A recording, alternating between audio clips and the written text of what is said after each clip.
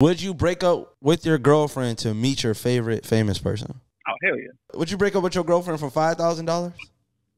Oh no no no no no no. What about No. fifty thousand dollars? Fifty thousand. nah, not fifty grand. Okay. What about a hundred thousand?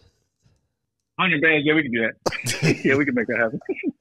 Why wouldn't you break up with her for fifty thousand? Because a hundred is more than fifty.